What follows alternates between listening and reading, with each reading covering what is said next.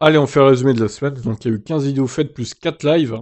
Ne pas oublier les lives hein, quand même. Des présentations des Formule 1 2022 du coup. Alors je commence par les lives qui ont été faits. Il y a eu l'AlphaTauri, il y a eu la Williams, la Ferrari et la Mercedes le vendredi. Ensuite, les vidéos de la chaîne F1CE Silverstone avec euh, la McLaren. Alors, une news concernant le conflit ukrainien, russo-ukrainien, je vais y arriver. Bon, au final, ils ont pas attaqué le 16, ils ont attaqué un peu plus tard. les troupes russes commencent le retrait. Enfin, alors ça, c'est justement, au final, ils ont dit qu'ils retireraient les troupes, mais ça, c'était pas vrai en fait. Montréal sur F1CE, Indianapolis. Alors, au game, je vous ai expliqué un peu le but du jeu, comment vous inscrire, etc. C'est un jeu gratuit sur navigateur, pas besoin d'avoir un PC puissant, puisque tout se fait sur Firefox ou Chrome, par exemple. Donc allez voir pour tout comprendre.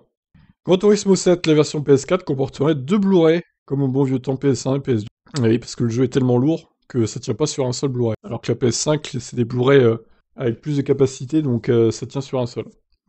Jacques Villeneuve va faire les Daytona 500 ce soir. C'est à partir de 21h du coup.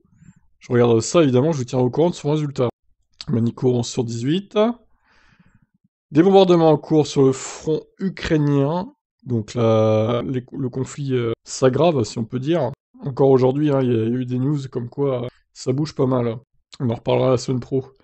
Hockenheim, avec la McLaren, encore une fois, ça tourne mal, vu la miniature. Alors, les présidentielles, le nombre de parrainages candidat par candidat, ça c'est pas mal à suivre. Donc ça se termine le 4 mars. Je referai une vidéo tous les jeudis, donc il reste deux jeudis avant le 4 mars. Et on fera le point. Pour l'instant, Marine Le Pen, Zemmour et Mélenchon sont en difficulté, puisque ils ont pas leurs 500 parrainages. Attention, sachant que bon, ils ont dans les sondages, ils sont plutôt bien placés pourtant.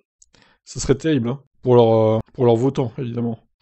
Budapest, ensuite, le point Covid, et on termine avec Istanbul sur F1CE McLaren. Voilà, je vous laisse, et à demain pour de nouvelles aventures sur la chaîne. Pensez à vous abonner aux autres aussi. Ciao